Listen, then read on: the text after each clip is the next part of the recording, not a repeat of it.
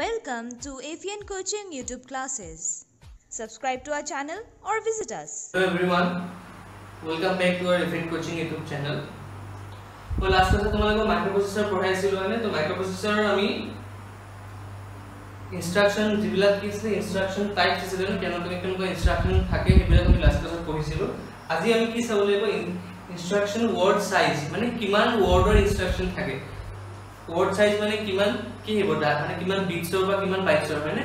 তো নৰ্মেলি আমাৰ তিনিটা বাইট ইনষ্ট্ৰাকশ্যন থাকে। তিনিটা থাকে ওৱান বাইট টু বাইটছ আৰু ওৱান বাইট টু বাইটছ আৰু থ্ৰী বাইট হয়নে? তো তিনিটা বাইটছৰ ইনষ্ট্ৰাকশ্যন হ'ব পাৰে। মানে আইডাৰ ওৱান বাইট ইনষ্ট্ৰাকশ্যন হ'ব নহ'লে টু বাইটছ ইনষ্ট্ৰাকশ্যন হ'ব নহ'লে থ্ৰী বাইটছ ইনষ্ট্ৰাকশ্যন হ'ব।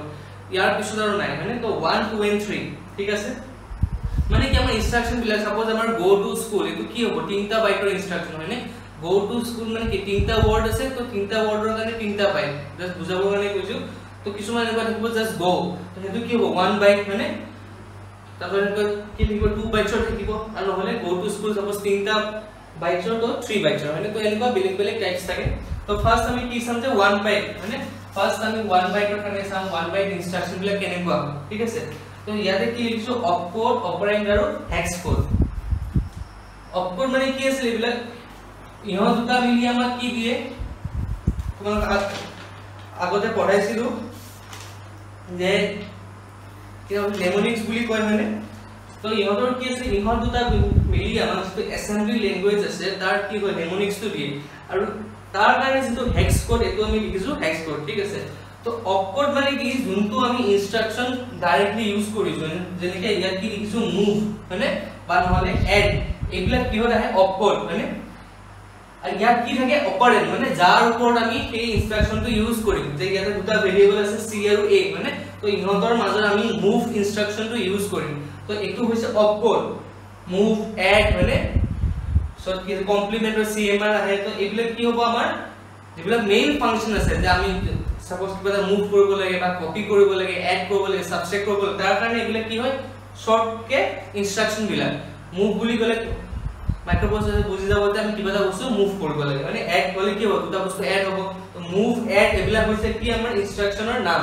ঠিক আছে? আৰু এইকেইটা কি হৈছে? ভেৰিয়েবল বা যিবিলাক আমি লোকেশ্যন মেমৰি বা যি ইউজ কৰোঁ এইবিলাক কি বুলি ক'ম আমি? অপাৰেণ্ট বুলি ক'ম। যেনেকৈ ইয়াত কি হৈছে? মুভ চি কমা এ মানে মুভ চি কমা এ মানে এ মানে কি হয়? একুমুলেটৰ হয়নে? তো মুভ চি কমা এ মানে কি হৈ আছে? একুমুলেটৰত যি বস্তু আছে সেইটো চি আহি আছে। একুমুলেটৰত যি বস্তু আছে সেইটো চি আহি আছে। তো মুভ চি কমা এ এই বস্তুটোৱে কি বুজাব যে একুমুলেটৰত সাপোজ 5 আছিল। সাপোজ আমাৰ একুমুলেটৰৰ ভিতৰত 5 আছিল ষ্ট'ৰ আছিল। তো সেই 5 টো কি হ'ব? মুভ মানে কিন্তু কাট নহয়। আমি যেটো কাট আৰু কপি কৰো তো মুভ মানে কিন্তু কাট নহয়। মুভ মানে জাস্ট কি বুজাব? যে কপি কৰা। কাট নহয়। তো মুভ ইজ কপি মাইক্ৰ'প্ৰচেছৰ সদায় কপি হয়। কাট কেতিয়াও নহয়। আমি যেটো মোবাইলত বা বেছি ইউজ কৰো মানে কাট কপি তো তাৰে কাটটো কেতিয়াও নহয়। মাইক্ৰ'প্ৰচেছৰ সদায় কি হ'ব? কপি হ'ব। তো ইয়াতে সাপোজ a ইকুৱেলছ টু 5 আছিল আমাৰ আগতে আছিল। তাৰপিছত আমি মুভ c কমা a কৰিলো মানে তো এতিয়া কি হৈ যাব? C ৰ ভ্যালু কিমান হৈ যাব? 5 হৈ যাব। A ৰ ভ্যালু আকৌ গুচি নাযায় কিন্তু নোহোৱা হৈ নাযায়। A ৰ ভ্যালু 5 এ থাকিব। জাস্ট ইয়াৰ ভ্যালুটো কি হ'ব? কপি হ'ব ক'লে c ইকুৱেলছ টু 5 হৈ যাব মানে তো মুভ c কমা a ইয়াতে চোৱা ইয়াতে অপাৰেণ্ট কেইটা দুটা হয়নে? কিন্তু এই গোটেইটোৰ কাৰণে মুভ চি কমা এ এই গোটেইটোৰ কাৰণে আমাৰ হেক্স কোড কি ইউজ কৰিছো অকল? 4f হয়নে? তো 4f এ কি বুজাই আছে? Move C comma A move C comma A এই গোটেইটোৰ মিনিং কোনে বুজাই আছে আমাক? 4f এ হয়নে? তো এটো হল আমাৰ কি 1 বাইট মানে আমাৰ 4f লিখিছো অকল আৰু ইয়াত কি আৰু এক্সট্ৰা নাই 1 বাইট মানে কিমান আছিল? 8 বিট আছিল তো 8 বিট ইনষ্ট্ৰাকচন হৈ গ'ল হয়নে? 4 টো আমি কেনেকৈ লিখিম? এইটো পিছত লিখি আছে। 4 টো কেনেকৈ লিখিম আমি? 0 1 0 0 হয়নে? আৰু f মানে কিমান আছিল আমাৰ? F মানে আমাৰ আছিল 15 যেটো আমাৰ ডেসিমেল 15 হয়। তো 15 ৰ কাৰণে কিমান আছে 1 1 1 1 হয়নে? তো বাইনারি বস্তুটো নিলে এটো হয়নে? তো কিমান বিট হৈ গ'ল? 8 বিট তো 8 বিট মানে কি হয়? 1 বাইট হয়নে? তো মুভ c, a এই গোটেইটো বুজাবৰ কাৰণে আমি কি কৰিছো অকল 8 বিট ইনষ্ট্ৰাকচন এটা ইউজ কৰি হেক্স কোড এটা ইউজ কৰি আছো। হেক্স কোড মানে হেক্স কোডটো আমি ইনপুট দিম। ইনপুট দিলে এইটো মিনিং হ'ব। আৰু বাইনাৰী তাৰপিছত মাইক্ৰ'প্ৰচেছৰ যেতিয়া কাম কৰিব সি এইটো বাইনাৰী কনভাৰ্ট কৰিব তাৰপিছত কাম কৰিব। মানে তো বাইনাৰী যেতিয়া কামটো হ'ব কিমান বিট হৈছে 8 বিটছ হয়নে 8 বিট মানে 1 বাইট আগতে কৈছো 8 বিটছ মানে 1 বাইট তো সেইকাৰণে এইটো কি হ'ল? 1 বাইট 1 বাইট ইনষ্ট্ৰাকচন হয়নে? কাৰণ আমি অকল ইনপুট যিটো দিম মানে ইনষ্ট্ৰাকচন যিটো দিম সেইটো অকল আমি দিম 4f বুলি। অট'মেটিক তাৰ এইটো বস্তু এই যিখিনি কাম মুভ যি কম মানে এইটো অলৰেডি হৈ যাব। ঠিকে আছে? এইটো আছিল কি? 1 বাইট নেক্সট কি আছে? Next two add B add B এইটোৱে কি বুজাব? এইবিলাক ফাংচন বিলাক পিছত আকৌ ভালকে পঢ়িম তেতিয়া ডিটেইলছত কোনটোৰ কি কাম ভালকে কৰিম এতিয়া মই যিকেইটা লিখা আছে সেইকেইটাৰে কৈ আছো। এনেকুৱা বহুত ইনষ্ট্ৰাকচন আছে ঠিক আছে? তো মুভ যি কমে কি কৰো যে এ পৰা চি লে কপি হ'ব। এ মানে কি একুমুলেটৰ তাৰ পৰা চি লে কপি হ'ব। এড বি তো বি কি কৰিব? এড বি মানে কি বুজাব যে আগতে কৈছো বি প্লাস একুমুলেটৰ হয়নে? যিকোনো বস্তু আমি যেতিয়া মাইক্ৰ'প্ৰচেছৰত এড কৰো সাবজেক্ট যিকোনো এৰিথমেটিক ফাংচন কৰো সেইটো সদায় কি হয়? একুমুলেটৰৰ লগত হয় হয়নে? তো এড বি মানে এড বি মানে কি? বি ৰেজিষ্টাৰটো এড কৰিব লাগে। কিন্তু এড যেতিয়া আহিব লগালগ আমি কি বুজিব লাগে? কাৰ লগত এড হৈ আছে? বি প্লাস একুমুলেটৰ হয়নে? আৰু তাৰ কাৰণে কোড কি আছিল আমাৰ? 80 কোড আছিল আমাৰ 80 হয়নে? তো এইটো সেম কি হয়? 1 বাইট ইনস্ট্ৰাকচন মানে 8 আৰু 0 আছে। 8 ৰ কাৰণে কি হ'ব? 1000 আৰু 0 ৰ কাৰণে 0000 তো 8 8 বিটছত বা 1 বাইটত আমাৰ এটা ইনস্ট্ৰাকচন হৈ গ'ল। সেইটো হ'ল কি? 80 আৰু কি কি বুজাব যে এড বি ঠিক আছে? আৰু ইহঁতক কি লিখে? 4fh বুলি লিখে মানে বা ইয়াতে 80h বুলি লিখে কিয় লিখে? যে এইটো হেক্স হয় হেক্সটো বুজাবৰ কাৰণে সবতে h বুলি লিখে। ঠিক আছে? তো এইটো কি আছিল আমাৰ 1 বাইট এতিয়া নেক্সট আমি চাম 2 বাইট ইনস্ট্ৰাকচন নেক্সট আমি চাম 2 বাইট ইনস্ট্ৰাকচন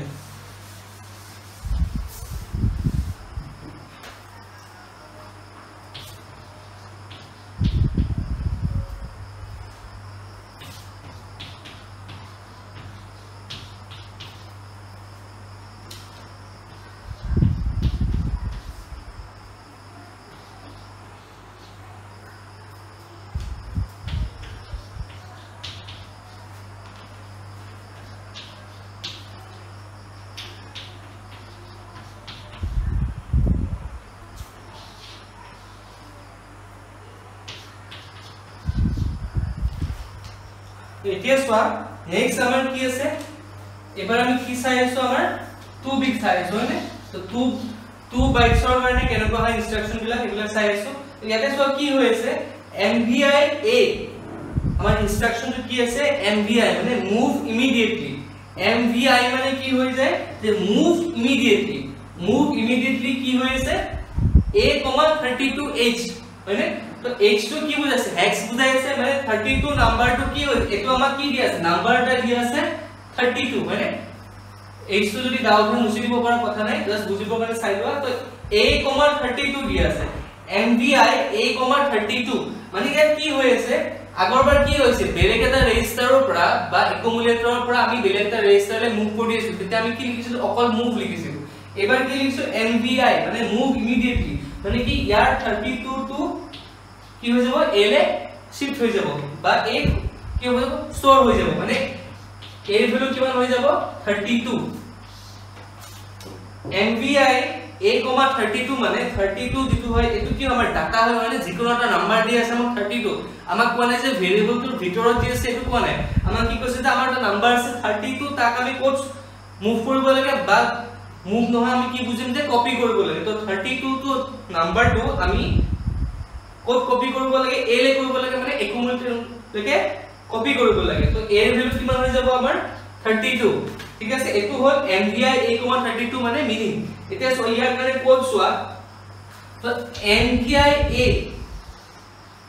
mvi a এই ইনস্ট্ৰাকচনটো কোনে বুজাব?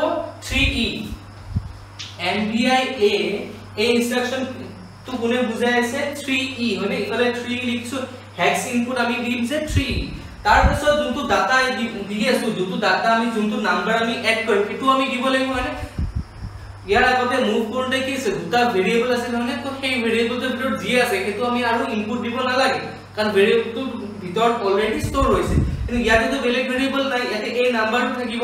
তো নাম্বাৰটো আমি কিবৰ্ডৰ পৰা ইনপুট দিলেহে কি ইয়াৰ ভিতৰত ষ্ট'ৰ হ'ব হয়নে? তো আমি থাৰ্টি টুটো কি দিম? ইনপুট দিম হয়নে? তো ইনষ্ট্ৰাকশ্যন কেইটা হৈ গ'ল?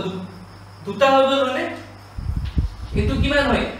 এইট বিটছৰ এইটো চেম কিমান হয়? এইট বিটছৰ হয়নে? তো থ্ৰী ইটোৱে কি বুজাব যে এমভিআই এ মানে এৰ ভিতৰত আমি ভৰাম ইমিডিয়েটলি এৰ ভিতৰত ভৰাম। কি ভৰাম? থাৰ্টি টু ভৰাম। তো থ্ৰী ই তাৰপিছত লিখিম আমি থাৰ্টি টু তো থ্ৰী ই ইনপুট কৰিলো নেক্সট থাৰ্টি টু ইনপুট কৰিম তেতিয়া আমাৰ এই ফাংচনটো গোটেইটো হৈ যাব যে MVI A comma thirty two হয়নে? তো ফাৰ্ষ্টৰ কাৰণে কিমান লাগিল আমাৰ? 8 বিটছ মানে 1 বাইট আৰু নেক্সট 32 কাৰণে কিমান লাগিল? 8 বিটছ মানে 1 বাইট তো 1 বাইট আৰু 1 বাইট মিলি আমাৰ 2 বাইটছ ঠিক আছে? নেক্সট হয় এইটো এমভিআই কি লিখা আছে? B, f2h h টো আকৌ সেম হেক্স বুজাবৰ কাৰণে তো এইটো আমি বুজাই দিছো। তো b, f2 হয়নে? তো ইয়াতো সেম কি হ'ব যে f2 এটা নাম্বাৰ হয় হয়নে? F2 এটা নাম্বাৰ হয় ই কিহত আছে হেক্সত আছে মানে যেটো আমি ইনপুট দিব লাগিব তো f2 ভ্যালু আহি আমাৰ বিট সোমাব ডাইৰেক্টলি হয়নে? ইমিডিয়েটলি সোমাব।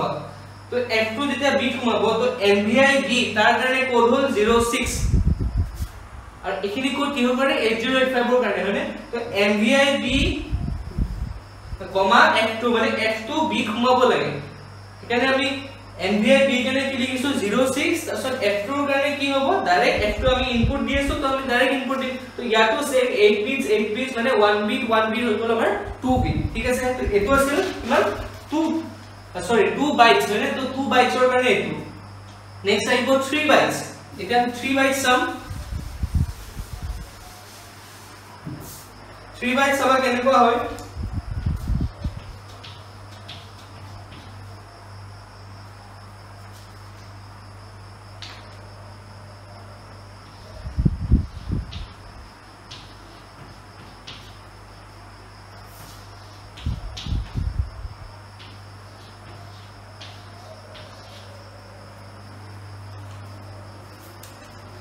তোমাৰ নেক্সট 3 বাইটছৰ কাৰণে চোৱা এতিয়া আমি 3 বাইটছৰ কাৰণে চাই আছো তো কিমান হৈছে আমাৰ?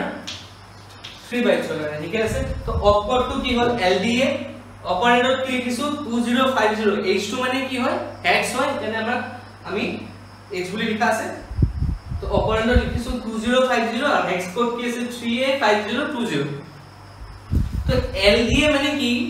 Load into the accumulator from load into the accumulator মানে accumulator আমি স্টোৰ কৰিম ডাটা এটা যোনটো আমাৰ মেমৰিত অলৰেডি আছে। যে মাইক্ৰ'প্ৰচেছৰৰ এটা মেমৰি লোকেশ্যন আছে সেইটো হৈছে 2050 এইটো হৈছে মাইক্ৰ'প্ৰচেছৰৰ মেমৰি লোকেশ্যন মানে মেমৰি এড্ৰেছ মানে। তে আমাৰ মেমৰি এড্ৰেছটো দিয়া আছে যে 2050 এইটো মাইক্ৰ'প্ৰচেছৰৰ ভিতৰত অলৰেডি এটা জেগা য'ত যাৰ লোকেশ্যন হৈছে 2050 মানে সাপোজ এনেকুৱা এটা বক্স আছে বহুত বক্স আছে। এইটো হ'ব 2049 নেক্সটটো হ'ব 2050 তো নেক্সটটো হ'ব 2051 এনেকে মেমৰি আছে মানে তো ইয়াতে সাপোজ 4 এটা সাপোজ 3 এটা সাপোজ 9 এনেকে তো 1 এনেকে ডাটা বিলাক হৈ আছে তো আমাক কি কৈছে যোনটো মেমৰি মেমৰি হৈছে এটো বাট তাৰ এড্ৰেছটো হৈছে কি 2050 মানে তো এটো এড্ৰেছৰ পৰা আমাক কি কৈছে যে আমি ক'ত এই ডাটাটো আমি কোড নিব লাগে একুমুলেটৰ নিব লাগে কিন্তু এই 2050 টো না যায় এটো হৈছে লোকেশ্যন তাৰ এড্ৰেছ এড্ৰেছৰ ভিতৰত যোনটো আছে এড্ৰেছৰ ভিতৰত কি আছে? 3 আছে। তো 3 টো আমি একুমুলেটৰ মুভ কৰিব লাগে। তো এলডিএ মানে হৈছে কি?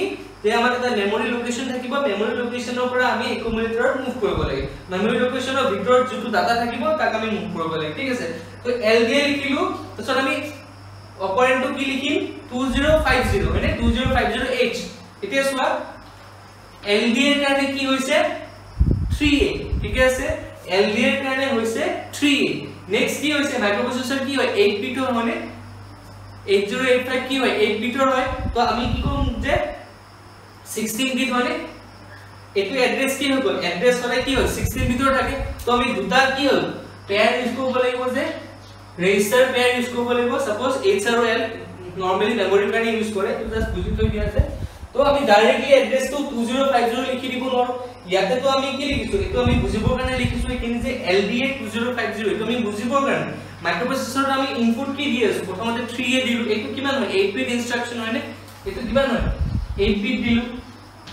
নেক্সট যদি আমি ডাইৰেক্টলি 2050 দিও ইনপুট দিও ডাইৰেক্টলি যদি আমি 2050 ইনপুট দিও কিমান বিটৰ হৈ যাব? 16 বিটৰ হয়নে? 16 বিট মাইক্ৰোপ্ৰচেছৰ বুজি নাপায় কাৰণ মাইক্ৰোপ্ৰচেছৰ কি হয়? আমাৰ 8 বিট হয় 8085 কি হয়? 8 বিট মাইক্ৰোপ্ৰচেছৰ হয়।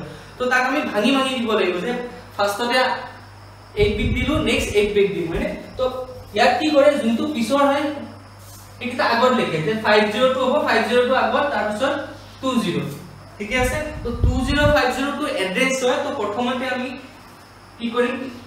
ইফালৰ পাৰ্টখিনি লিখিম মানে এইখিনি হৈছে আমাৰ ৰাইট সাইড কি লেফট সাইড মানে সাপোজ আমি হাফ অফ কে ডিভাইড কৰি ললো তো যিখিনি ৰাইট সাইডৰ আছে সেইখিনি ফাৰ্ষ্টতে লিখিম মানে যিখিনি প্ৰথমতে পাওঁ আমি সেইখিনি ফাৰ্ষ্টতে লিখিম তাৰপিছত 20 লিখিম। তো 50 তাৰপিছত 20 তো এইটো কিমান হৈ গ'ল? 50 টু 8 বিট হয়নে?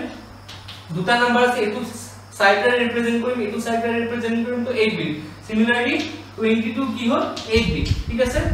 তো 3a 5020 তো LDA 2050 এইটো হ'ল আমাৰ কি হয় মেইন ইনস্ট্ৰাকশনটো কিন্তু এনেকে লিখিলে মাইক্ৰোপ্ৰচেছৰ বুজি নাপায় তো আমি কি লিখিম? হেক্সত ইনপুট দিও। হেক্সত ইনপুট 3a কি বুজাব যে LDA হয়নে? তাৰপিছত আমি লোকেশনটো দিব লাগে। লোকেশনটোৰ কাৰণে কি দিম? প্ৰথমতে 50 তাৰপিছত 20 এনেকে ভাঙি ভাঙি কিয় লিখিলো? কাৰণ মাইক্ৰোপ্ৰচেছৰে 16 বিট বস্তু বুজি নাপায়। তো যেতিয়া আমি 16 বিটৰ কিবা এটা দিব লাগে তাক আমি কি কৰিব লাগিব? এনেকে ভাঙি ভাঙি দিব লাগিব। যে প্ৰথমতে আমি 50 দিম 8 বিট গল নেক্সট 20 দিম আকৌ 8 বিট গল হয়নে? তো ইয়াতে কেন কিমানটা হৈ গল 8 বিট 8 বিট 8 বিট কে আমাৰ কিমানটা হৈ গল 3 বাইট হৈ গল ইনস্ট্ৰাকশনটো তো এইটো কি হ'ল আমাৰ?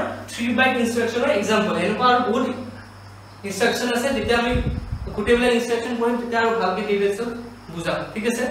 এই টপিক চোৱা এতিয়া কি আমি কি চাব লাগিব যে right assemble and execute and program মানে আমি প্ৰগ্ৰাম কেনেকৈ লিখো তাক এসেম্বল কেনেকৈ কৰো আৰু তাক এক্সিকিউট কেনেকৈ কৰো মানে মানে থিওৰি প্লাস প্ৰ্যাকটিক্যাল দুইটা বস্তু ইয়াতে মতলব এড হৈ আছে মানে যে প্ৰথমতে আমি থিওৰি মানে কি আমি লিখিম কেনেকৈ প্ৰগ্ৰামটো তাক এসেম্বল কেনেকৈ কৰিম আৰু লাষ্টত তাক এক্সিকিউট মানে তাক আমি ডিসপ্লে কেনেকৈ কৰিম বা তাৰ আউটপুট কেনেকৈ কৰিম ঠিক আছে? তো ইয়াতে কিছুমান ষ্টেপ আছে। তো ফাৰ্ষ্ট ষ্টেপ সাপোজ আমাক এক্সাম্পল সময়ত এক্সাম্পল দি বুজাম। এক্সাম্পলটো আমাক কৈ আছে যে a প্লাস b কৰিব লাগে মানে a আছে মানে একুমুলেটৰ আছে তাৰ ভ্যালু আমাক দিব গৈছে 32 তাৰপিছত b আছে b ৰেজিষ্টাৰ ল'ব দিছে তাৰ ভ্যালু দিব দিছে আমাক 48 মানে সো দুইটা এড কৰিব দিছে। A প্লাস b এড কৰি তাৰ যেটো ৰিজাল্ট হ'ব তো আমাৰ দুইটা এড কৰি কৰিলে ৰিজাল্ট আহে 78 মানে তাক আউটপুট পোৰ্টত যেটো আমাৰ আউটপুট পোৰ্ট তাৰে যেটো 01 পোৰ্ট আছে তাতে এই এনসাৰটো ডিসপ্লে কৰিব দিছে মানে তো এই দুটা এড কৰিব লাগিব এনসাৰটো আমি 01 পোৰ্টত কি কৰিব লাগিব? ডিসপ্লে কৰিব লাগিব। এলইডি পোৰ্ট হয়। তো ইয়াৰে ফাৰ্স্ট স্টেপটো হ'ল যেতিয়া আমি এটা প্ৰগ্ৰাম কি কৰো লিখো বা তাক এক্সিকিউট কৰিব ট্রাই করো আমরা ফার্স্ট স্টেপ তো বলতে অ্যাসেম্বলি ল্যাঙ্গুয়েজ তো আমি লিখিব লাগিব। অ্যাসেম্বলি ল্যাঙ্গুয়েজত কি হয় নিউমনিক্স বিলাক আহে মানে তো ফার্স্ট কি কৰিব লাগিব? 30 তো আমাক দিয়া আছে মানে যে আমি 32 নাম্বাৰটো কিহত ভৰাব লাগিব? 8 ভৰাব লাগিব। 32 নাম্বাৰটো আমি 32 ইন হেক্স মানে তো 32 নাম্বাৰটো আমি 8 ভৰাব লাগিব ঠিক আছে? তো হেক্স এটো 32 32 মানে এইবিলাক সব হেক্সত হেক্সত হয়। তো 32 নাম্বার যদি আমি 8 ভৰাব লাগে মই অলপ আগতে কোন ইনস্ট্ৰাকশনটো কি হয়? MVI A32 হয়নে?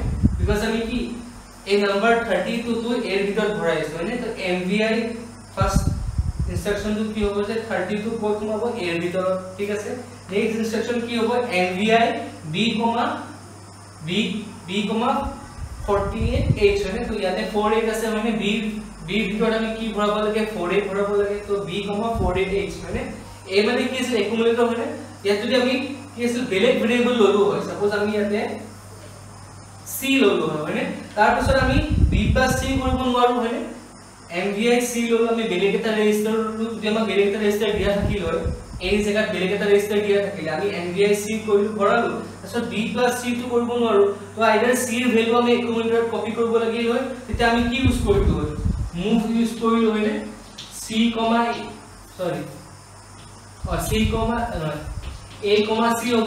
মানে মুভ a কমা c যে c ৰ যেটো ভ্যালু আছে সেইটো আমি একুমুলেটৰ নিব লাগিল বা আমি b ৰ ভ্যালুটো একুমুলেটৰ নিব লাগিল মানে তৰি ইয়াতে মুভ a কমা b হ'ল ঠিক আছে? কিন্তু এতিয়া আমাক অলৰেডি দিয়া আছে যে আমি ডাইৰেক্ট একুমুলেটৰতে এড কৰিলে হ'ল তো একুমুলেটৰ ডাইৰেক্ট দি দিলো তেতিয়া আমাৰ আৰু বেলেগ কি হয়? বেলেগ কি আৰু একুমুলেটৰতে এড কৰা দৰকাৰ নাই। মানে তো ফাৰ্স্ট স্টেপটো কি হ'ল আমাৰ? MVI a,32 ঠিক আছে? ৰ ভিতৰত 32 ভ্যালু ভৰালো। নেক্সট আমি কি হ'ল যে MVI b,48 হয়নে b ৰ ৰেজিষ্টাৰৰ কি দিলো? 48 সোমালো। হয়নে নেক্সট কি হ'ব? A b হয়নে নেক্সট আমি এড কৰিব লাগে তো এড b এড b কি বুজায়? B ৰ লগত একুমুলেটৰ ডাইৰেক্ট এড হয়নে? এড b মানে কি বুজায় যে b a এড b কি বুজায়? B a মানে তো আমাৰ b b ৰ ভিতৰত 40 আমি অলৰেডি ভৰালো a ৰ ভিতৰত 32 ভৰালো এতিয়া দুইটা এড কৰি কিনে ক'ত ষ্টৰ হ'ব? আৰু একুমুলেটৰতে ষ্টৰ হ'ব মানে b a এড হ'ব কিন্তু ভ্যালুটো ক'ত ষ্টৰ হ'ব? A ষ্টৰ হ'ব। তো ৰ আগৰ ভ্যালু কি আছিল? 32 তো এড হৈ কিনে কি হৈ যাব? যিমান ভ্যালু লাগে কিমান ওলাব আমাৰ? 7a হয়নে? তো 7a টো কি হৈ যাব? এবাৰ 8 কি হৈ যাব? সোমাই যাব হয়নে? তো আগৰ 32 ৰ জায়গাত এবাৰ 7a সোমাই ওভাৰলেপ কৰিব হয়নে? আগৰ ডাটাটো নোহোৱা হৈ যাব ঠিক আছে? তো কি হ'ল আমাৰ? এড b কৰিলো। তো এড b কৰাৰ লগে লগে আমাৰ দুইটা এড হ'ল। এড হৈ কিনে মানে b a হ'ল আৰু a হ'ল কিনে ষ্টৰ কোড হ'ল আমাৰ একুমুলেটৰ ষ্টৰ ঠিক আছে? নেক্সট কি কৰিব দিছে আমাক 01 পোৰ্টত কি কৰিব দিছে? আউটপুট ওলাব দিছে মানে এলইডি পোৰ্ট হয় 01 তাতে আমাক এনসাৰটো ডিসপ্লে কৰিব দিছে। তো তাৰ কাৰণে আমি কি লিখিম? আউট 018 হয়নে? তো ইয়াৰ কাৰণে কি লিখিলো? আউটপুটৰ কাৰণে আউট আৰু 01 টো কি হৈছে? পোৰ্ট নাম্বাৰ তো 018 দিলো আউট হৈ গ'ল। ডিসপ্লে হৈ গ'ল এনসাৰটো তাৰপিছত হল্ড মানে হল্ডটোৱে কি কৰিব? প্ৰগ্ৰামটো সেই হৈছে এইটো বুজাই মানে কি?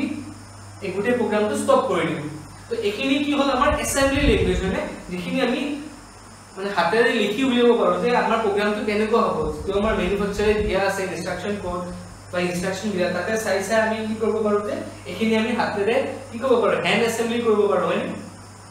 তো লিখিলো আৰু আমাৰ এসেম্বলি হৈ গ'ল। এতিয়া আমি কি কৰিব লাগিব? ইয়াৰ পিছত আমাক কি লাগিব? হেক্স কোড লাগিব হয়নে? হেক্স কোড বিলাক লাগিব। কাৰণ আমি এইখিনি বস্তু ক'ত লিখিছো? কাগজত লিখিছো। ইয়াৰ পিছত মাইক্ৰ'প্ৰচেছৰত ইনপুট দিব লাগিব। তো মাইক্ৰ'প্ৰচেছৰ ইনপুট দিয়াৰ লগে লগে আমাক কি লাগিব? হেক্স কোড লাগিব। তো সেকেন্ড স্টেপটো কি হ'ব আমাৰ? হেক্স কোড সেকেন্ড স্টেপটো কি হ'ব আমাৰ? হেক্স কোড হয়নে? সেকেন্ড স্টেপটো কি হ'ব আমাৰ? হেক্স কোড তো এমভিআই এই কাৰণে তো ইফালে লিখি আছো আমাৰ হেক্স কোড খিনি। এমভিআই এই কাৰণে হেক্স কোড কিমান আছিলে? অলপ আগতে কৈছিলো যে 3e হয়নে? 3e আৰু এটো কি হয় 2 বাই ডিস্ট্ৰাকচন মানে এমভি আই এ2 আছে লগত 32 আছে। তো 32 আমি হেক্সৰ কাৰণে দিব লাগে এখিনি হৈছে আমাৰ হেক্স এমভি আই এ কাৰণে 3 32 e, কাৰণে ডাইৰেক্ট 32 মানে নেক্সট কি হ'ব এমভি আই বি ইয়াৰ কাৰণে কি বাৰ আছিল আমাৰ? এমভি আই কাৰণে 06 এমভি আই কাৰণে আছিল 06 আৰু নেক্সট ভ্যালু কি বাৰ আছে 48 নেক্সট মানে হ'ল 48 ঠিক আছে? নেক্সট কি হ'ব এ বি এড b ৰ কাৰণে কিমান হয় আমাৰ? এড b ৰ কাৰণে হয় আমাৰ 80 এড b ৰ কাৰণে হয় আমাৰ 80 a b হৈ গ'ল। এতিয়া আমি কিহৰ কাৰণে লাগিব? আউটৰ কাৰণে লাগিব। তো আউটৰ কাৰণে হ'ল d3 আউটৰ কাৰণে d3 কিন্তু লগত কি আছে? 01 আছে মানে। তো মানে এইটো কি হৈছে 2 বাইট ইনষ্ট্ৰাকচন হৈ আছে। তো আউটৰ কাৰণে d3 01 ৰ কাৰণে আকৌ 01 হৈ গ'ল। লাষ্ট কি হয়? ইনষ্ট্ৰাকচন আমাৰ হল তো হলটোৰ কাৰণে কিমান হয় আমাৰ?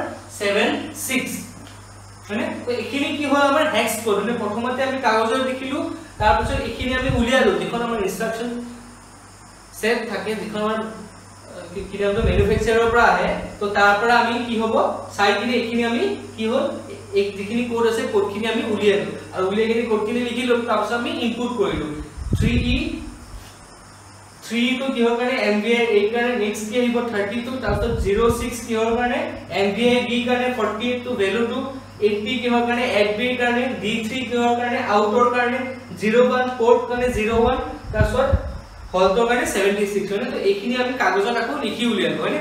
এতিয়া নেক্সট কি কৰিব লাগিব? এইখিনিলৈকে আমি কি কৰিলো? যে আমি ইনষ্ট্ৰাকচন সেটটো চাই কিনে আমি গোটেই প্ৰগ্ৰামটো লিখি ললো হয় এতিয়া আমি ইনপুট দিব লাগিব হয়নে আৰু ইনপুট দিয়াৰ লগে লগে কি হ'ব? এই যিবিলাক হেক্স আছে হেক্স কোডো ষ্ট'ৰ হ'ব লাগিব নহয়নে মাইক্ৰ'প্ৰচেছৰৰ ভিতৰত আমি যেতিয়া ইনপুট দিম আমি যেতিয়া মাইক্ৰ'প্ৰচেছৰ ইনপুট দিম কিবৰ্ডত টাইপ কৰিম তেতিয়াহ'লে ইয়াৰ পৰা ডাটাটো ক'ৰবাত ষ্ট'ৰ হ'ব লাগিব ন? কিবা এটা মেমৰি লোকেশ্যনত ষ্ট'ৰ হ'ব। পৰা ইনষ্ট্ৰাকচনটো নকৰে হয় আমি কিবৰ্ডত দিওঁ তো কিবৰ্ডৰ পৰা আমি কিবৰ্ডত যেতিয়া আমি দিওঁ কিবৰ্ডৰ পৰা কি হয়? মেমৰিত যায়। মেমৰিত ষ্ট'ৰ হয়। মেমৰিৰ পৰা মাইক্ৰ'প্ৰচেছৰে ৰিড কৰে। মাইক্ৰ'প্ৰচেছৰে কীবৰ্ডৰ পৰা তো ৰিড নকৰে কাৰণ আমি হেক্স দি আছো। তো কীবৰ্ডত আমি হেক্স দি আছো তাৰ পৰা মেমৰিত যাব। মেমৰি কি হিচাপে ষ্ট'ৰ হ'ব? বাইনাৰী হিচাপে ষ্ট'ৰ হ'ব। তাৰপিছত মাইক্ৰ'প্ৰচেছৰে বাইনাৰী পৰা পঢ়িব ঠিক আছে?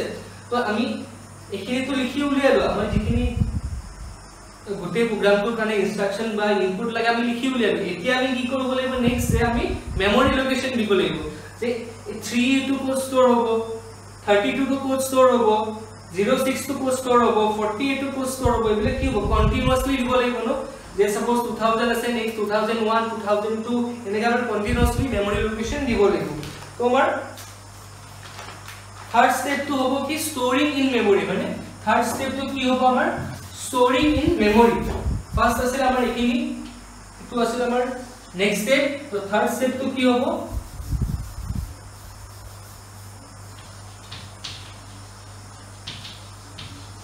ষ্ট'ৰিং ইন মেমৰি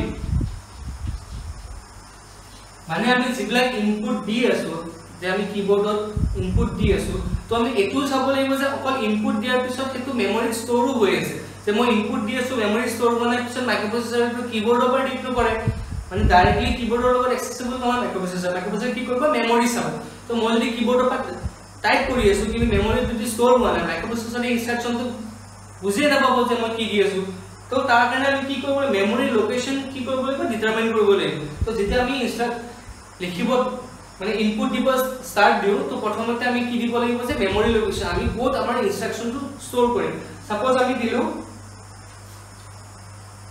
মানে যেতিয়া আমি ষ্টাৰ্ট দিম টাইপ কৰা তো তেতিয়া আমি প্ৰথম কিবা এটা লোকেশ্যন দিব লাগিব। যে ছাপ'জ আমি টু থাউজেণ্ড দিলোঁ। হয়নে? আমি ফাৰ্ষ্ট কি দিলোঁ? টু থাউজেণ্ড দিলোঁ। তো এইটো আমি কি ইনপুট দিলোঁ যে মেমৰি লোকেশ্যন দিলোঁ? মানে আমাৰ যিটো মাইক্ৰ'প্ৰচেছ আমি যিটো ইনপুট দিম তাৰ ইনষ্ট্ৰাকশ্যন যিটো ফাৰ্ষ্ট ইনষ্ট্ৰাকশ্যন ফাৰ্ষ্ট ইনষ্ট্ৰাকশ্যন ক'ত ষ্ট'ৰ হ'ব টু থাউজেণ্ড হয় তাৰপিছত আমি কি হ'ব যেতিয়া এণ্টাৰ মাৰিম তেতিয়া টু থাউজেণ্ড ওৱান হ'ব। আকৌ এণ্টাৰ মাৰিম টু থাউজেণ্ড কি হ'ব? টু হ'ব এনেকৈ বাঢ়ি গৈ যাব ঠিক আছে? কৈ যাম তুমি বুজি পাই যাবা। তো ফাৰ্ষ্ট আমি কি দিলোঁ? ফাৰ্ষ্ট আমি মাইক্ৰ'প্ৰচেছৰটো লৈ আমাৰ প্ৰগ্ৰাম লিখা হৈ গ'ল এতিয়া আমি প্ৰগ্ৰামটো ইনপুট দিব লাগে। তো প্ৰথমতে আমি মাইক্ৰ'প্ৰচেছৰ টু থাউজেণ্ড দিম। ফাৰ্ষ্ট আমি কি দিম? এইটো কি হৈ আছে আমাৰ? ষ্ট'ৰিং মেমৰি যে মেমৰিত আমি ষ্ট'ৰ কৰি আছো। তো আমি ফাৰ্ষ্ট টাইপ কৰিলোঁ টু থাউজেণ্ড হয়নে? তো এইটো কি ল'লে মাইক্ৰ'প্ৰচেছৰে এজ মেমৰি ল'লে। এজ মেমৰি ল'লে যে টু থাউজেণ্ড তো আমাৰ ফাৰ্ষ্ট মেমৰি য'ত আমাৰ প্ৰগ্ৰামটো ষ্টাৰ্ট হ'ব। তো টু থাউজেণ্ড আমি দিলোঁ তাৰপিছত নেক্সট কি ইনপুট কৰিম? থ্ৰী ই টু থাউজেণ্ডটো দিলোঁ তাৰপিছত নেক্সট আমি কি ইনপুট কৰিম? থ্ৰী ই তো কি ষ্ট'ৰ হৈ গ'ল যে মেমৰি লোকেশ্যন টু থাউজেণ্ড মানে মেমৰি এড্ৰেছটো টু থাউজেণ্ড তাতে আমি ইনষ্ট্ৰাকশ্যন কি দি আছোঁ? হেক্স কোড দি থ্ৰী ই ঠিক আছে? নেক্সট আকৌ আমি এণ্টাৰ দিম। তেতিয়া আমাৰ এইটো কি হৈ যাব? অট'মেটিক টু থাউজেণ্ড ওৱান হৈ যাব হয়নে?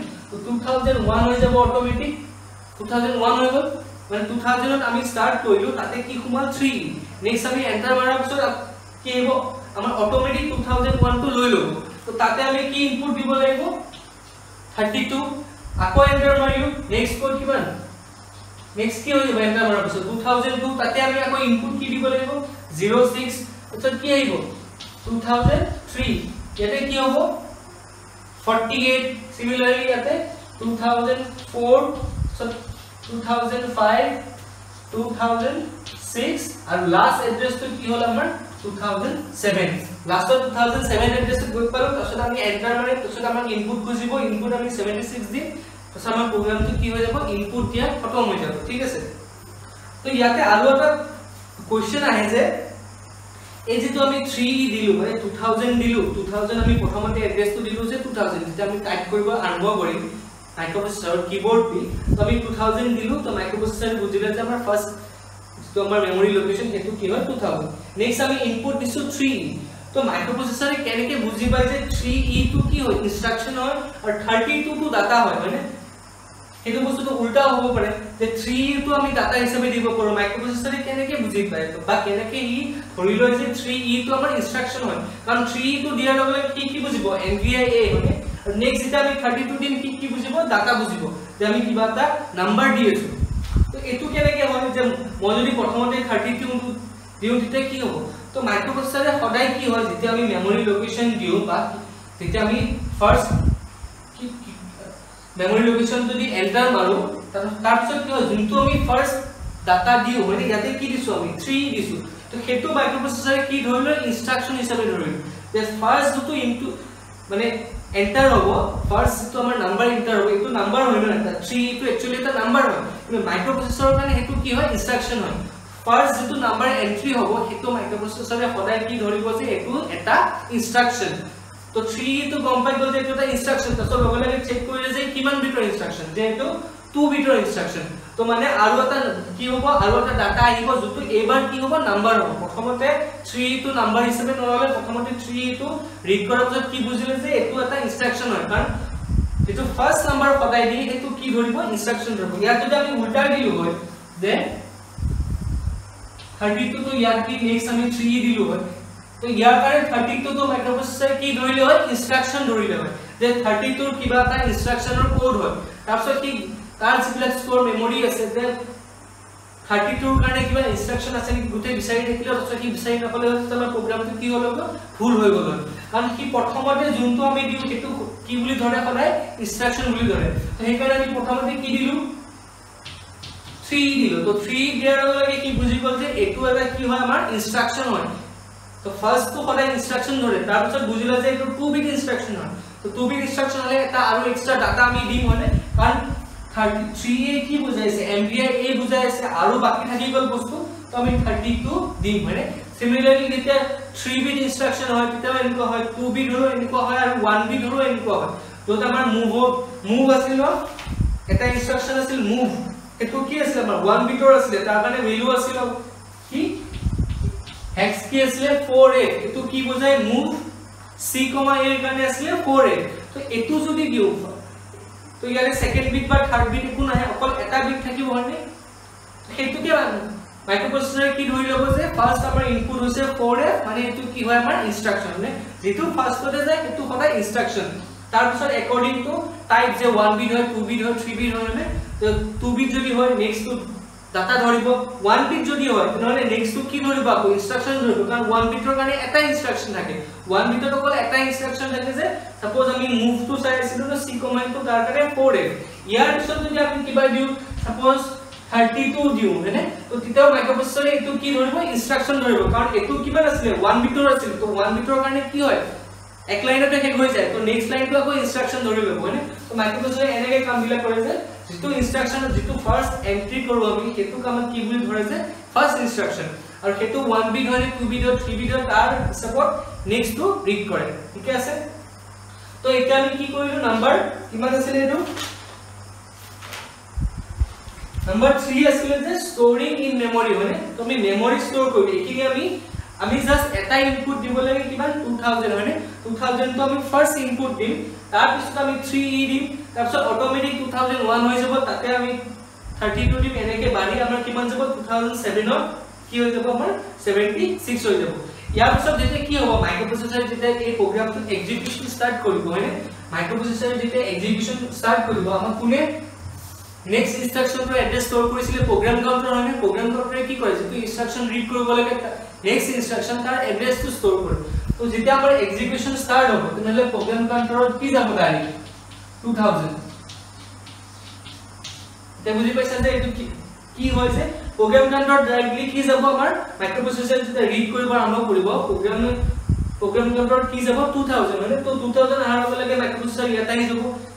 এই এড্ৰেছটোত আহি যাব তাৰ সেই এড্ৰেছৰ ভিতৰত কি আছে কোড 3 হয় তো কি এটো বুজিলে নেক্সট প্ৰগ্ৰাম কাউণ্টাৰটো 3 ৰিড কৰাৰ পিছত প্ৰগ্ৰাম কাউণ্টাৰটো কি হৈ যাব ক্লাছ 1 হৈ যায় মানে তো 2001 হৈ গ'ল 2001 আকৌ নেক্সট কি আহিব 32 হৈ গ'ল তো 332 এমবিআই এই তোমাৰ 32 ইনষ্ট্ৰাকচন হৈ গ'ল লগা লগ এইটো কি হৈ যাব 2002 তো নেক্সট ইনষ্ট্ৰাকচন আকৌ যাব যে 06 তো 06 মানে কি আছিল এমবিআই বি হয় এনেকে প্ৰগ্ৰাম কাউণ্টাৰটো কি হৈ যাব আপগ্ৰেড হৈ থাকিব তো সেইকাৰণে এই মেমৰি এড্ৰেছটো মাষ্ট হয় এইটো আমি দিবই লাগিব মেমৰি নিদিয়াকে প্ৰগ্ৰামটো কেতিয়াও কমপ্লিট হ'বই নোৱাৰে ঠিক আছে নেক্সট আমাৰ নাম্বাৰ ফ'ৰ ষ্টেপ কি হৈছে হেক্সটো আমাৰ বাইনাৰী আমি হেক্স ইনপুট দিছিলো হয়নে মেমৰিটো প্ৰথমতে হেক্সত ষ্ট'ৰ হ'ব তাৰপিছত কি হ'ব সেইটো কি হ'ব আমাৰ বাইনাৰীত কনভাৰ্ট হ'ব কাৰণ মাইক্ৰ'প্ৰচেছৰ কি হয় বাইনাৰী বুজি পায় হয়নে হেক্স বুজি নাপায় তো এইটো আমি কৰিব নালাগে এইটো কোনে কৰিব? তোমালোকে আগতেও কৈছিলোঁ মই এইটো কোনে কৰে যে আমাৰ ৰমে কৰে হয়নে? Random access memory sorry read only memory তো ৰমে আমাৰ কি কৰে? এই যিটো কনভাৰ্জন আছে হেক্স টু বাইনাৰী সেইটো আমাৰ কৰে এক্সিকিউট কৰে হয়নে? তো এইটো কি অট'মেটিক কৰিব আমি কৰিব নালাগে। আমি জাষ্ট কি কৰিলো হেক্সত ইনপুট দিলো আৰু হেক্সটো কি হ'ল? মেমৰি ষ্ট'ৰ হ'ল হয়নে? টু থাউজেণ্ডৰ ভিতৰত হেক্সটো ষ্ট'ৰ হ'ল ঠিকে আছে তেতিয়ালৈকে আমাৰ তাত এইখিনি। ইয়াৰ পিছত নেক্সট এই যিটো হেক্সটো বাইনাৰী হ'ব এইটো অট'মেটিক হ'ব আৰু এইটো কোনে কৰিব? ৰমে কৰিব আৰু কোন- তাৰ ভিতৰত কোনটো প্ৰগ্ৰামে কৰিব? মনিটৰ প্ৰগ্ৰাম বুলি কয়। এইটো বহুত ইম্পৰ্টেণ্ট হয়। সুধিব পাৰে যে কোনে কৰে? তো ৰমে কৰে কিন্তু ৰমৰ ভিতৰত এটা প্ৰগ্ৰাম আছে যোনে এইটো কৰে এইটো হৈছে মনিটৰ প্ৰগ্ৰাম তো সি কি কৰে? হেক্স টু কনভাৰ্ট কৰে। কিয় কৰে? কাৰণ আমি ইনপুট দিছো হেক্স ষ্ট'ৰ হৈছে হেক্স মাইক্ৰ'প্ৰচেছৰে হেক্স বুজি নাপায়। হয়নে যেতিয়া এক্সিকিউট কৰিব আহিব সি হেক্স বুজি নাপাব। তো তাক কি লাগে? বাইনাৰী লাগে। তো আমি সেইকাৰণে হেক্স টু বাইনাৰী কনভাৰ্ট হয়। তো ফাৰ্ষ্ট আমাৰ ইনষ্ট্ৰাকচন কি আছিলে? থ্ৰী ই হয়নে? থ্ৰী কিহৰ কাৰণে আছিলে আমাৰ? MVI A কাৰণে আছিলে 3E ৰাস্তাত আছে 32 তো 3E টো ক'ত ষ্ট'ৰ হৈ আছিলে? 2000 ত ঠিক আছে? তো 3E 2000 ত ষ্ট'ৰ হৈ আছিলে। এতিয়া কি হ'ল? যে হেক্স টু বাইনাৰী কনভাৰ্ট হৈ যাব। তো 3E জেগাত এবাৰ বাইনাৰী কি হৈ যাব? ওভাৰলে গৈ কিনে কি হৈ যাব আমাৰ? ঠিক আছে 0011 মানে 3 আৰু 1110 মানে E. তো এইটো কি হৈ যাব? এই 2000 তে কি হৈ যাব? ৰিপ্লেচ হৈ যাব। মানে প্ৰথমতে কি আছিল আমি কি ভৰাইছিলো? 3 3 টো 2000 ত ষ্ট'ৰ হ'ল। তাৰপিছত যেতিয়া আমাৰ লিখাটো শেষ হ'ল তাৰপিছত কি হ'ব? এইটো প্ৰগ্ৰাম ৰান হ'ব মনিটৰ প্ৰগ্ৰামটো অট'মেটিক ৰান হ'ব। আৰু সি কি কৰিব? এই হেক্সৰ জেগাত বাইনাৰী কি কৰিব? কনভাৰ্ট কৰিব আৰু লগালগ ষ্ট'ৰো কৰি দিব। তো টু থাউজেণ্ডৰ ভিতৰত এবাৰ কি আহিব জিৰ' জিৰ' ওৱান ওৱান আৰু ওৱান ওৱান ওৱান জিৰ' হয়নে তো থ্ৰীৰ জেগাত বাইনাৰী আহিব নেক্সট কি আহিব থাৰ্টি টু এইটো ক'ত আছিলে টু থাউজেণ্ড ওৱানত হয়নে এইটো কনভাৰ্ট হ'ব। কি আহিব জিৰ' জিৰ' ওৱান ওৱান আৰু জিৰ' জিৰ' ওৱান জিৰ' হয়নে এনেকৈ যিমান যিমান কেইটা ইনষ্ট্ৰাকচন আছে গোটেইবিলাক কি হ'ব? য'ত য'ত ষ্ট'ৰ হৈ আছিলে তাতে ৰিপ্লেচ হৈ বাইনেৰীতে ৰিপ্লেচ হৈ গৈ থাকিব সেইটো হ'ল আমাৰ number four step hex to binary number five step কি আহিব? আমাৰ এক্সিকিউশ্যন যিটো আমাৰ ফাইনেল আউটপুট হয়নে এইখিনি মই ৰাফ কৰি আছো? নাম্বাৰ ফাইভ ষ্টেপ কি হয় আমাৰ? এক্সিকিউশ্যন নাম্বাৰ ফাইভ ষ্টেপ হয় আমাৰ এক্সিকিউশ্যন ষ্টেপ নাম্বাৰ ফাইভ হৈছে আমাৰ এক্সিকিউশ্যন স্টেপ নম্বৰ 5 হৈছে আমাৰ এক্সিকিউশ্যন তো আমি যেতিয়া আমি ক'ৰ পৰা দিছিলোঁ? টু থাউজেণ্ডৰ পৰা দিছিলোঁ হয়নে মেমৰি লোকেশ্যন আমি প্ৰথমতে দিছিলোঁ টু থাউজেণ্ড আৰু ই গৈ কিনে কিমানলৈ গৈছিলে? টু থাউজেণ্ড ছেভেনলৈ হয়নে? তো আমি মাইক্ৰ'প্ৰচেছৰত কৈছিলোঁ যে আমি এটা প্ৰগ্ৰাম ইনপুট দিম আৰু সেইটো মাইক্ৰ'প্ৰচেছৰে মেমৰিত ক'ত ষ্ট'ৰ কৰিব লাগে যে টু থাউজেণ্ড মেমৰি নাম্বাৰ বা মেমৰি এড্ৰেছ টু থাউজেণ্ডৰ পৰা ষ্ট'ৰ কৰা ষ্টাৰ্ট কৰিব লাগে হয়নে? তো টু থাউজেণ্ডত কি ষ্ট'ৰ কৰিছিলোঁ? থ্ৰী ই হয়নে? তাৰপিছত টু থাউজেণ্ড ওৱানত কি ষ্ট'ৰ কৰিছিলোঁ? থাৰ্টি টু এনেকৈ ষ্ট'ৰ কৰি গৈছিলোঁ হয়নে ইয়ালৈকে। লাষ্টত কি আছিলে আমাৰ?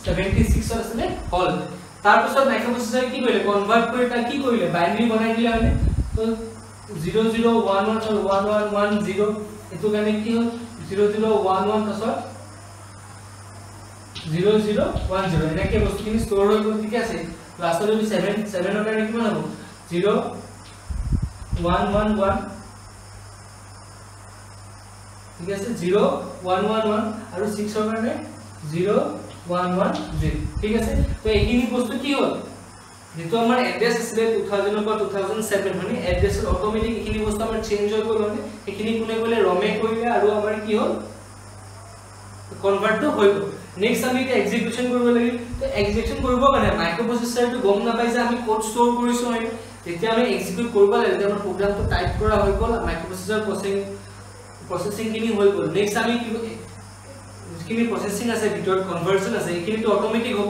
আমি জাষ্ট টাইপ কৰিলোঁ আৰু এড্ৰেছটো দি আমি ষ্ট'ৰ কৰিলোঁ ঠিক আছে?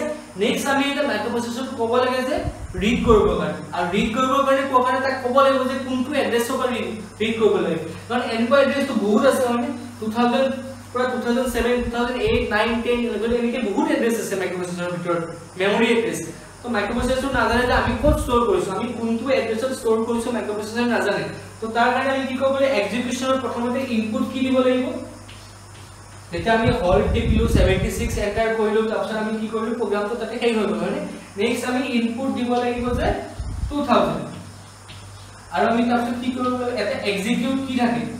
এক্সিকিউট এটা কি থাকে কিবৰ্ডত এক্সিকিউট বুলি কয় এক্সিকিউট কি বুলি কয়।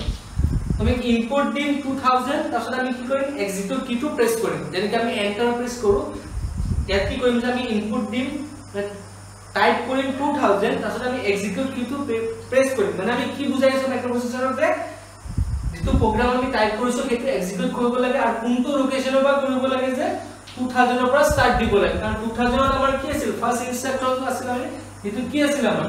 3e2 তো আমি এক্সিকিউট কিটো প্ৰেছ কৰিলে মাইক্ৰ'প্ৰচেছৰ কি বুজাই আছে যে 2000 এড্ৰেছত গৈ আমাৰ প্ৰগ্ৰামটো এক্সিকিউট কৰা ষ্টাৰ্ট দিব লাগে। ঠিক আছে?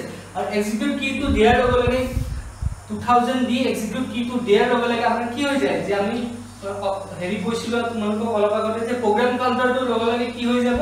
2000 হৈ যাব। প্ৰগ্ৰাম কাউণ্টাৰটো 2000 হৈ যোৱা মানে কি? যে মাইক্ৰ'প্ৰচেছৰক আমি কৈ আছো যে নেক্সট ইনষ্ট্ৰাকচনটো ল'বৰ কাৰণে ক'ত যাম মেমৰি এড্ৰেছ ক'ত যাব লাগে যে 2000 ত গ'লে নেক্সট ইনষ্ট্ৰাকচনটো পাব য'ত আমাৰ প্ৰগ্ৰামটো আছে হয়নে? তো সেইকাৰণে ফিফথ ষ্টেপ যিটো আমাৰ এক্সিকিউশ্যন তাতে আমি ইনপুট দিম যিটো আমাৰ এড্ৰেছৰ পৰা আমি প্ৰগ্ৰামটো লিখিছো যোনটো মেমৰি এড্ৰেছৰ পৰা আমি প্ৰগ্ৰামটো লিখা ষ্টাৰ্ট দিছো তাৰ এড্ৰেছটো লিখিম তাৰপিছত আমি এক্সিকিউট কি কিটো প্ৰেছ কৰিম তাৰপিছত কি হ'ব প্ৰগ্ৰাম কাউণ্টাৰ কি হৈ যাব 2000 হৈ যাব হয়নে 2000 হোৱাৰ লগে লগে ইয়ালৈ আহিব 3 ৰিড কৰিব হয়নে নেক্সট কি হৈ যাব প্ৰগ্ৰাম কাউণ্টাৰ 2001 হৈ যাব তাৰপিছত কি ৰিড কৰিব 32 ৰিড কৰিব হয়নে? তাৰপিছত 2002 এনেকৈ গৈ গৈ গৈ লাষ্টত 2007 হৈ গ'ল হয়নে?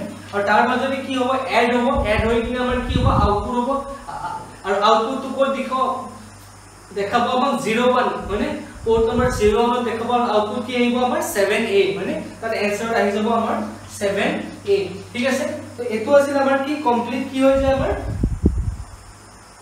কেনেকৈ আমি প্ৰগ্ৰাম লিখো এসেম্বল কৰো আৰু এক্সিকিউট কৰো তো তাৰ কাৰণে স্টেপ পাঁচটা স্টেপ হয়নে ফাৰ্স্ট স্টেপটো কি কৈছিলো? ফাৰ্স্ট স্টেপটো কি আছিল আমাৰ? যে প্ৰথমতে আমি এসেম্বলি ল্যাঙ্গুৱেজ লিখিব লাগিব যেটো আমি পেপাৰত বা ক'ৰবাত লিখি ললো। তাৰপিছত তাৰ কাৰণে যি যি হেক্স কোড লাগিব সেইখিনি লিখিব লাগিব হয়। তাৰপিছত আমি মেমৰি দিব লাগিব। যেতিয়া আমি মাইক্ৰ'প্ৰচেছৰ টাইপ কৰা ষ্টাৰ্ট দিম তেতিয়া আমি ইনপুট প্ৰথমতে মেমৰি দি ষ্টাৰ্ট দিব লাগিব যে আমি মেমৰিটো ডিফাইন কৰিব লাগিব। আমি ক'ত প্ৰগ্ৰামটো ক'ৰ পৰা প্ৰগ্ৰামটো ষ্ট'ৰ কৰিম? মেমৰি দিলো ফ'ৰ্থ ষ্টেপ কি হ'ব? অট'মেটিক ষ্টেপ যিটো আমাৰ কি হ'ব? হেক্স টু বাইনাৰী কনভাৰ্ট হ'ব হয়নে? আৰু লাষ্ট ষ্টেপ হৈছে আমাৰ এক্সিকিউশ্যন য'ত আমি কি দিব লাগিব? য'ত আমি প্ৰগ্ৰামটো লিখা ষ্টাৰ্ট দিছিলো তাৰ এড্ৰেছটো লিখি কিনে আমি এক্সিকিউট কিটো প্ৰেছ কৰিব লাগিব। আমাৰ প্ৰগ্ৰামটো ৰান হৈ যাব আৰু আমাৰ আউটপুটটো ক'ত আহিব? আমাৰ 01 পোৰ্টত ঠিক আছে? তো এইখিনি আছিল আমাৰ আজিৰ কাৰণে।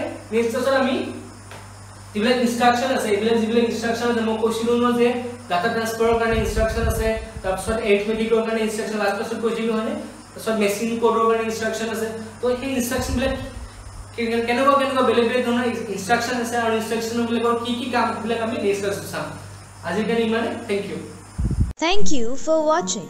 Don't forget to hit the like button, subscribe to our channel and turn on the bell icon.